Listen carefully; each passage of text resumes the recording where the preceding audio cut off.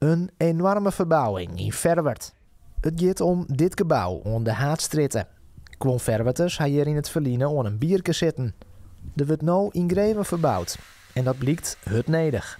Jazeker, eh, in de dwarsvisie zie je heel duidelijk hè, dat er een aantal panden in de hoofdstad en van dit wel het dominantste en het ergste pand wie wat, uh, wat ongebeuren moest. En uh, ja, dat, gelukkig is dat ook uh, nou, nou gebeurd, maar is wel een van de, nou ja, de rotte keersen, zeg maar, in het dorp, zoals ze dat nemen.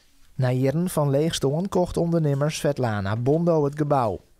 Zij zegt in oparbeidje met het dorp een soort mogelijkheden. Ik uh, wou graag uh, uitbreiding met mijn uh, onderneming. Ik heb een zorginstelling in Leeuwarden en ik wou graag uitbreiden met mijn activiteiten.